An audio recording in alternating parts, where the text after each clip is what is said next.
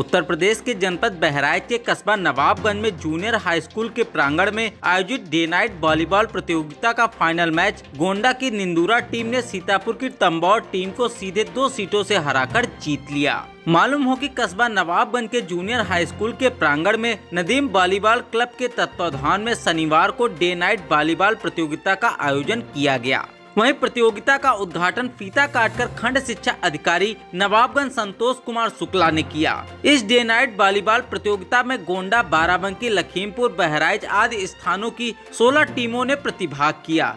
इस प्रतियोगिता का पहला सेमीफाइनल मैच मनगढ़िया, लखीमपुर व गोंडा की निंदूरा टीम के बीच खेला गया। वहीं निंदूरा ने सीधे दो सीटों में मनगढ़िया, लखीमपुर को पराजित कर फाइनल में प्रवेश किया। वहीं दूसरा सेमीफाइनल में तंबौर, सीतापुर व करिकोट पलिया, लखीमपुर के बीच खेला गया, जिसमें सीधे दो सीटों में तंबौर, सीतापुर ने कारीकोट बलिया लखीमपुर को पराजित कर फाइनल में प्रवेश किया। वहीं फाइनल मुकाबला बेस्ट ऑफ़ थ्री के आधार पर खेला गया, जिसमें निंदूरा गोंडा ने तंबौर सीतापुर को 15-13 व 15-11 से सीधे दो सीटों में पराजित कर फाइनल मुकाबला जीत लिया। वहीं विजेता टीम के कप्तान आरिफ खान को समापन समारोह के दौरान ग्राम प्रधान प्रतिनिधि नवाबगंज व भाजपा जिला कार्य समिति के सदस्य बेचेलाल जायसवाल व ग्राम गोविंदापुर पंडित के ग्राम प्रधान प्रतिनिधि साहबुद्दीन खान की तरफ़ से विजेता व उप विजेता टीम खिलाड़ियों ट्रॉफी के साथ अन्य पुरस्कार प्रदान किए। गए। वहीं इस अवसर पर ग्राम प्रधान प्रतिनिधि बेचेलाल जायसवाल ने खिलाड़ियों का उत्साह वर्धन करते हुए कहा कि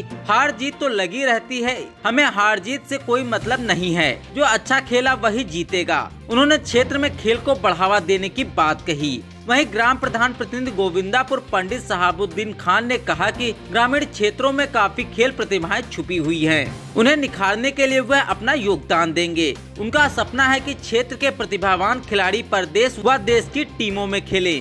उन्होंने खेल के खिलाड़ियों का मनोबल बढ़ाने के लिए उनका हर संभव मदद करने की बात कही। इस दौरान प्रतियोगिता के आयोजक नदीम क्लब के इसरार अहमद खान, अकील अहमद सिद्दीकी, संजय गुप्ता, नदीम अहमद आदि लोग मौजूद रहे। नवाबगंज के जूनियर हाई स्कूल में जिला स्तरीय वॉलीबॉल प्रतियोगिता का आयोजन किया गया जिसमें हमारे ग्राम प्रधान नवाबगंज बेचेलाल जायसवाल व ग्राम प्रधान गोविंदापुर पंडित साबुद्दीन का काफ़ी सहयोग और योगदान रहा। इस संबंध में हम उनसे कुछ खेल के बारे में जानना चाहते हैं। जी बताइए। ये प्रतियोगिता में आप खिलाड़ियों के बारे में क्या कहना चाहते हैं आज का ये कार्यक्रम सांसद, खेल स्पर्धा के रूप में पूरे उत्तर प्रदेश में सभी ब्लॉक स्तर पर मनाया जा रहा है। और इस प्रतियोगिता के आयोजन का जो उद्देश्य है कि हर गाँव से, हर कस्बे से खिलाड़ियों में प्रतिस्पर्धा हो और एक प्रतियोगिता आयोजित की जाए।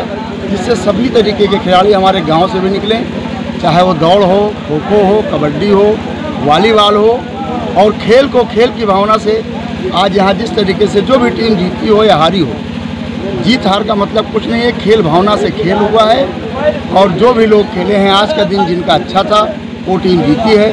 कल दूसरी टीम जीतेगी, और खेल को हमेशा खेल भावना से खेलना चाहिए। यही हम लोगों का सभी लोगों का उद्देश्य होता है। हम जो है ग्राम प्रधान साबुद्दीन खान से भी जो खेल को काफ़ी बढ़ावा दे रहे हैं चाहे क्रिकेट हो चाहे वॉलीबॉल हो क्षेत्र में काफ़ी सहयोग कर रहे हैं। हम उनसे इस संबंध में जानना चाहते हैं।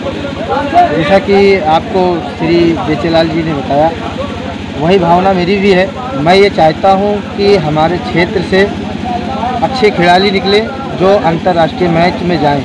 हम चाहते हैं कि हमारे क्षेत्र से जब लोग आगे बढ़ेंगे तभी हमारे क्षेत्र का विकास होगा और तभी तभी हमारे क्षेत्र की पहचान बनेगी। हम चाहते हैं हमारा विकासखंड नवाबगंज का इतना नाम हो कि सारी दुनिया के अंदर विकास नवाबगंज का नाम हो। Junior high school ground Nawabganj से जमील अहमद अंसारी की रिपोर्ट। अखंड भारत न्यूज़ के लिए जमील अहमद की रिपोर्ट बहराइच।